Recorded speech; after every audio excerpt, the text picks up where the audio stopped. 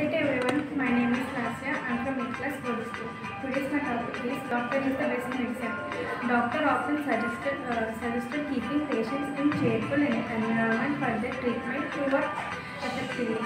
Doctor makes people uh, enhance their intake of oxygen which rich air. The human body is relaxed after the physical act of work.